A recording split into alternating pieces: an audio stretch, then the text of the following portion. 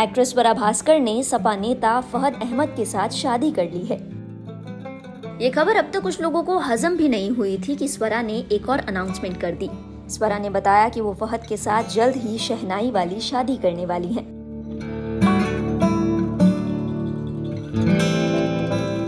आपको बताते चलें कि स्वरा भास्कर ने हाल ही में फहद अहमद से कोर्ट मैरिज की थी। इस दिन की तस्वीरों को उनके करीबियों ने शेयर किया, जिसके बाद ये तस्वीरें सोशल मीडिया पर वायरल हो गई।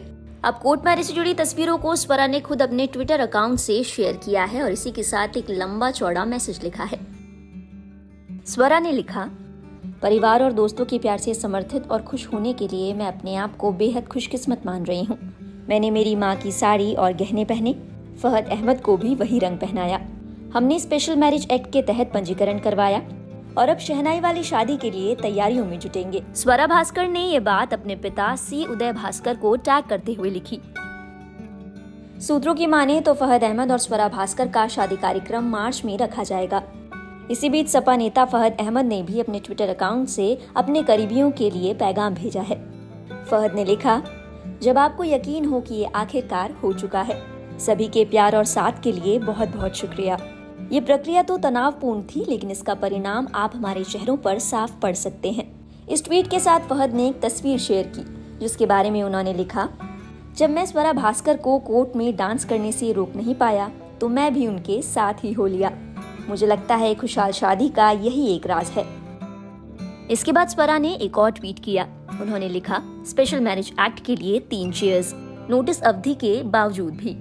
कम से कम ये मौजूद तो है और प्यार को एक मौका देता है।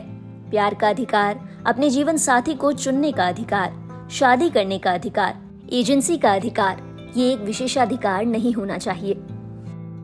स्वरा के फैंस इन ट्वीट्स को उन लोगों के मुँह पर तमाचा मान रहे हैं, जो लोग स्वरा को लगातार शादी के बाद ट्रोल कर रहे हैं। सोशल मीडिया पर लगातार ट्रोल होने के बाद स्वरा भास्कर एक के बाद एक ट्वीट करके लोगों को नई नई जानकारियाँ दे रही हैं। इसी बीच सोशल मीडिया दो गुटों में बढ़ता हुआ नज़र आ रहा है।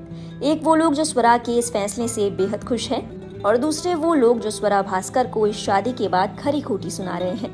वैसे स्वरा भास्कर के इस फैसले पर आपका क्या कहना है? क्या आप भी उनकी शादी से खुश हैं? अपने विचारों को हमारे साथ साझा करें कमेंट बॉक्स में। और स्वरा के साथ दूसरे बॉलीवुड सेलिब्रिटीज की लेटेस्ट अपडेट्स के लिए सब्सक्राइब करें लाइव हिंदुस्तान।